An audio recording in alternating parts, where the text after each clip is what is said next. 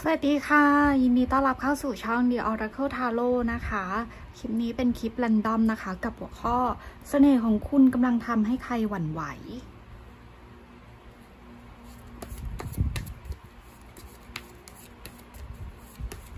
ขอดูเสน่ห์ของคุณก่อนนะ ว่าเสน่ห์ของคุณเป็นยังไงเอ่ย strength the empress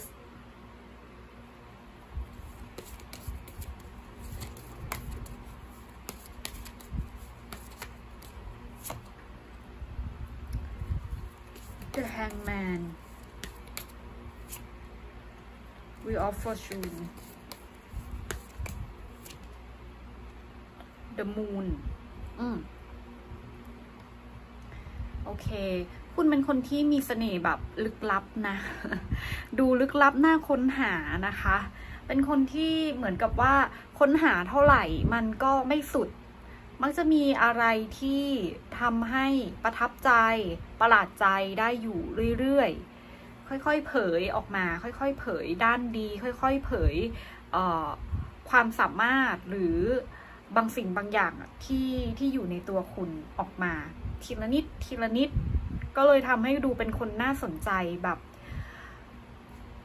แบบไม่ใช่ว่าน่าสนใจแค่แรกๆอะ่ะ มีอะไรให้สนใจอยู่เรื่อยๆ อยู่ตลอดเวลา เออ ไม่ไม่น่าเบื่อว่าอย่างนั้นเถอะนะ เพราะว่าเหมือนกับ คล้ายๆ จะเป็นคนเปิดเผย แต่ก็ไม่ได้เปิดเผยสักขนาดนั้น ไม่ได้เปิดเผยทั้งหมดออกมาทีเดียวอะคนที่รู้จักคุณ คนที่รู้จักคุณ ถ้ารู้จักแค่ผิวเผินเขาก็จะจะมองเห็นคุณในอีกแบบหนึ่งอะในด้านหนึ่ง ก็อาจจะเห็นในด้านข้อดีบางอย่างในตัวคุณแบบผิวเผิน แต่ยิ่งใครที่ได้รู้จักคุณนานขึ้นอะจะรู้ว่าคุณมีอะไรมากกว่านั้น เช่นพูดง่ายๆ ยกตัวอย่างสมมติคนอื่น ๆ ที่ที่ไม่ได้รู้จักคุณดี รู้จักคุณแค่ผิวเผินเนี่ยอาจจะเห็นแค่รูปร่างหน้าตา บุคลิกท่าทางที่ดูดีอะไรของคุณอย่างเงี้ย แต่ถ้าใครได้รู้จักคุณนานนานหน่อยอะนานขึ้น จะรู้ว่าคุณไม่ได้มีดีแค่นั้น ไม่ได้มีดีแค่บุคลิกภาพหรือรูปร่างหน้าตาภายนอก แต่คุณเรื่องของนิสัยใจคอจิตใจอะไรอย่างเงี้ย หรือความคิดทัศนคติของคุณน่ะคือมันมีอะไรที่ดีมากกว่านั้นอะมากกว่าที่มองเห็นด้วยตาเปล่านะคะ คุณเป็นคนเข้มแข็ง เข้มแข็งแต่ก็มีความอ่อนโยนอยู่ในตัว ไม่ใช่เป็นคนดุเป็นคนใจดีนะ แต่ว่าเข้มแข็งอะไม่อ่อนแอ อืมแล้วก็ดูมีความเข้าอกเข้าใจคนอื่นดี เฉลียวฉลาด แล้วก็มองคนออกเข้าใจเข้าใจความรู้สึกนึกคิดของผู้คน หรือว่าต่อให้ใครจะมาดีหรือมาร้ายอะ่ะ คุณมักจะทำความเข้าใจคนคนนั้นได้ ว่าแบบ อืม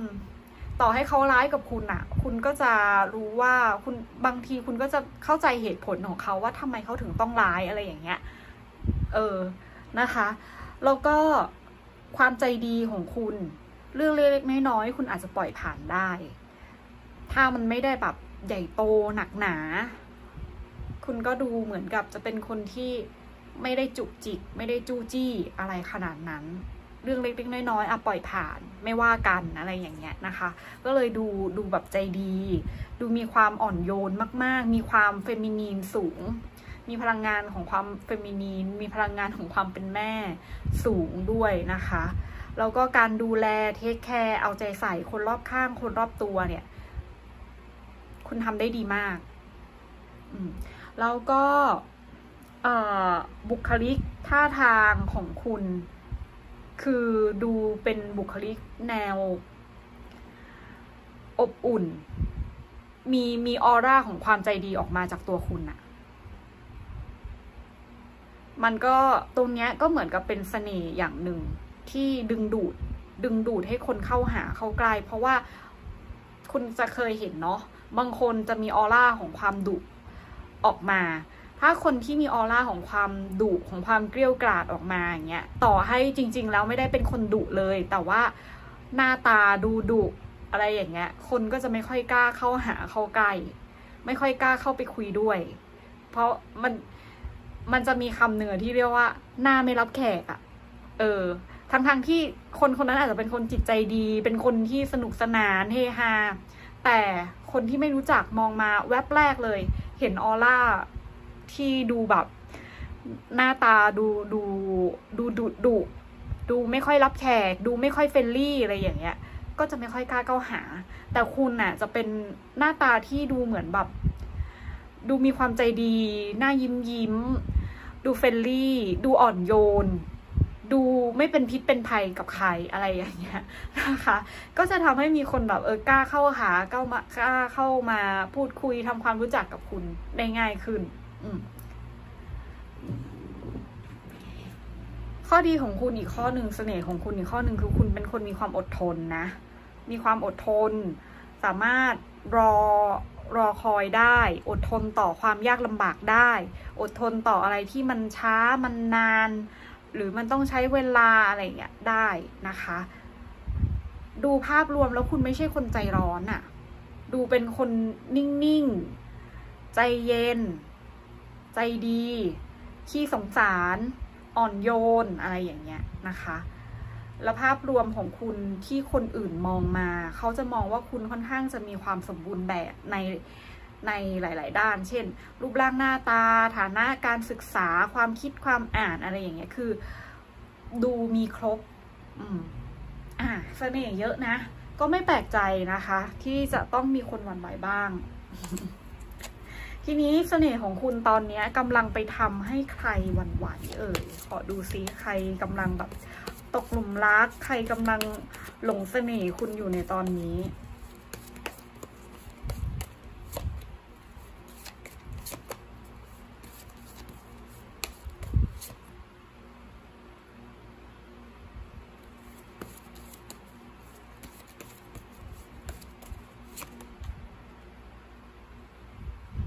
โอเค ลัคนาห รือราศีของคนคนนี้นะคะ มีพิจิก มีนกรกฎพิจิก อะ มีนกรกฎพิจิก ตุลกุม อืม เป็นคนที่ เออมั่นอกมั่นใจในตัวเองนะคนคนนี้ คือตัวเขาเองก็เป็นคนมีเสน่ห์มาก ๆ อยู่เหมือนกัน เสน่ห์ล้นอะเสน่ห์แพรวๆอยู่เหมือนกัน แล้วก็มั่นใจในตัวเอง ค่อนข้างมีอีโก้ในตัวเองนะคะ ประมาณว่าส่วนหนึ่งอะ่ะก็คือหลงตัวเองแหละ เออ มีมีมีอาการหลงตัวเองนิดนึง คือเขาก็มีมีคุณสมบัติที่ดีของเขาแหละ พอที่เขาจะหลงได้ แต่บางครั้งเขาอาจจะคิดว่ามันดีเลิศเลอกว่าคนอื่น ไปหน่อยอะไรอย่างเงี้ย ซึ่งในความเป็นจริงก็มันก็ไม่อาจอาจจะไม่ได้เลิศเลอกว่าคนอื่นขนาดนั้น คนอื่นเขาก็มีดี แต่เขาแค่ไม่ได้โชว์ออกมาอะไรเงี้ยไม่ได้พราวขนาดคนคนนี้นะคะ แต่คนนี้ค่อนข้างมีความภาคภูมิใจในตัวเองอืมอีโก้สูงอีโก้จัดนะ แล้วก็เป็นคนที่ชัดเจนตรงไปตรงมาชอบก็คือชอบ ไม่ชอบก็คือไม่ชอบ อ่าซื่อตรง ซื่อตรง จริงใจ จริงใจกับความรู้สึก เพราะฉะนั้นบางทีเนี่ยมันมันก็เหมือนเป็นดาบสองคมเหมือนกัน เพราะการที่ตรงไปตรงมาของเขาอะ่ะ บางทีมันก็ดูเหมือนกับ เออไม่ค่อยแคร์คนอื่น อืม ไม่ค่อยเกรงใจใครไม่นึกถึงใจคนอื่นบ้างอะไรอย่างเงี้ย บางทีมันตรงเกินไป เพราะเขาเป็นคนที่ก็เอาจริง ๆเขาก็ไม่ได้แคร์จริง ๆ นั่นแหละ เป็นคนไม่แคร์ไม่แคร์คนอื่นสักเท่าไหร่ เพราะเขายึดถือว่าก็มันความจริงอะอะไรอย่างเงี้ย เออ ก็อะไรอะไรดีก็บอกว่าดี อะไรไม่ดีก็บอกว่าไม่ดี ถูกก็คือถูกผิดก็คือผิด ก็ฉันพูดความจริงอะแล้วไงอะเออ ต่อให้คนฟังจะรู้สึกแย่รู้สึกไม่ดี แต่เขาก็ไม่ได้รู้สึกว่ามันเป็นความผิดอะไรของเขานะ อะไรอย่างนี้นะคะ แต่ข้อดีก็คือ ไม่ได้ไม่ได้ดูยากสักเท่าไหร่คนเนี้ย ดูดูแบบ เพราะว่าเขาเปิดเผยไงเขาคิดยังไงเขาก็แสดงออกอย่างนั้น เออ ชัดเจน มันก็จะแบบว่าดูไม่มีรับลมคมใน ไม่ค่อยดูยากสักเท่าไหร่นะคะ อืม อ่า คนนี้ เขามีความเกี่ยวข้องอะไรกับคุณคะ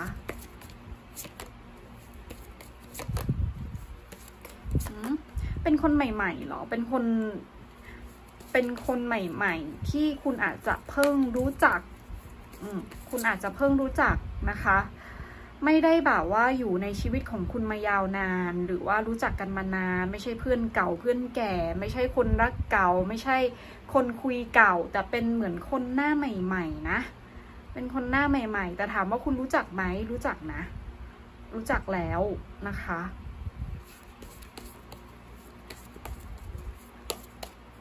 บางคนเนี่ยเขาอาจจะมีตำแหน่งหน้าที่การงานที่ใหญ่โตกว่าคุณ อ่า หรืออาจจะเป็นเจ้านายของคุณนะคะ มีเจ้านายมาแอบปลื้มแอบชอบนี่ยังไงดีเนี่ย ฮะ จะรู้สึกยังไงดีนะ มีเจ้านายมาหลงเสน่ห์อย่างนี้หรอ นะแต่บางคนก็อาจจะไม่ได้แบบว่าอยู่สายงานเดียวกันก็ได้นะคะ เพียงแต่ว่าเขาอาจจะเป็นคนที่มีตำแหน่งหน้าที่ใหญ่โต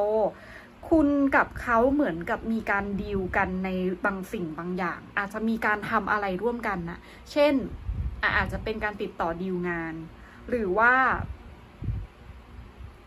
คำว่าติดต่อดีลงานเนี่ยมันเป็นไปได้ว่าบริษัทคุณบริษัทเขาจำเป็นต้องประสานงานกัน ในเรื่องในเรื่องหนึ่งอาจจะเป็น คนนึงซื้อคนนึงขายอะไรอย่างเงี้ยก็ได้นะคะ คุณอาจจะต้องไปติดต่อกับเขาเพื่อประสานงาน หรือว่าบางทีเนี่ยเขาอาจจะอายกตัวอย่างง่ายๆให้ให้เข้าใจง่ายให้เห็นภาพเนาะสมมติคุณจะสร้างบ้าน เขาอาจจะเป็นบริษัทที่รับออกแบบ หรือว่าเป็นบริษัทที่รับสร้างบ้านอะไรอย่างเงี้ย แล้วคุณต้องไปดีลงานกับเขาอะ อย่างเงี้ยเป็นต้นนึกออกไหมคือหรือว่าคุณอาจจะอยากได้อะไรสักอย่างแล้วเขาเขามีสิ่งนั้นขาย อย่างเงี้ยคุณไปดีลงานกับเขา คือมันมีการติดต่อประสานงาน มีเรื่องของการพูดคุยอะไรกันเกิดขึ้นอะที่ทำให้คุณกับเขาอะได้เจอกันได้รู้จักกันนะคะอะมันจะไม่ใช่ลักษณะที่ว่า เออเราไม่เห็นในเรื่องของการเจอผ่านสื่อออนไลน์ ไม่ใช่ว่าแบบว่าเปิดเปิดไอจีมาเปิด Facebook มาเห็นหน้าคนนี้แล้วเอ้ยรู้สึกชอบจังเลยแล้วทักใหม่ มันไม่ใช่ แต่มันเป็นการแบบเหมือนดีลงานที่เป็นเรื่องเป็นราวมากกว่านั้น แล้วมันทำให้ได้รู้จักกัน อืม แล้วไอ้งานเนี้ยมันไม่ใช่แค่แบบว่า คุยกันแค่ ไม่กี่นาทีอะแต่มันเป็นงานที่เหมือนกับว่า มันต้องติดต่อกันนานเหมือนเหมือนที่เรายกตัวอย่างไปอะค่ะ เหมือนคุณจะสร้างบ้านแล้วคุณไปจ้างให้ให้เขาให้บริษัทของเขามารับผิดชอบ มาดูงานมาออกแบบอะไรให้ มันต้องใช้เวลานานอะสร้างบ้านกว่าจะเสร็จเนาะมันต้องหลายเดือนแหละ หรือเป็นปีอย่างเงี้ยคือมันจะได้เจอกันอยู่เรื่อยๆ ติดต่อกันอยู่เรื่อยๆ คือลักษณะมันเป็นอย่างนี้ นะ แต่ว่าอันนี้เป็นแค่ตัวอย่าง คุณอาจจะไปติดต่อกับเขา เรื่องอื่นก็ได้ แต่ว่าเป็นลักษณะที่ติดต่อกันยาวนาน และต้องเจอกันอยู่เรื่อยๆ บ่อยๆ อืม อะ โอเค ทีนี้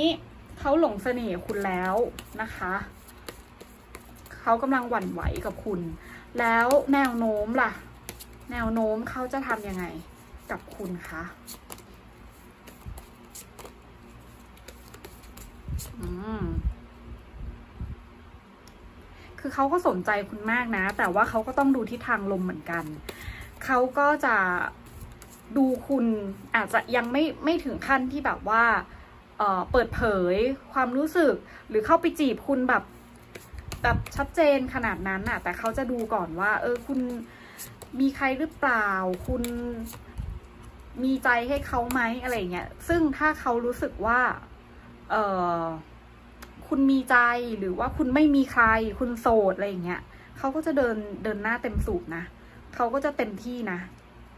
เขาจะจีบคุณเลยแหละ ถ้าถ้าสมมติเขามั่นใจแล้วนะ อืม จะเป็นลักษณะที่คุณจะถูกจู่โจมเลยนะคะ แล้วแนวโน้มความสัมพันธ์ล่ะ คือเขาจะถูกอกถูกใจคุณหรือว่าจริงจังกับคุณมากน้อยแค่ไหน มันจะเป็นความสัมพันธ์แบบไหน อุ้ยมันค่อนข้างที่จะเป็นความรักรักแบบลุ่มหลงนะ เออ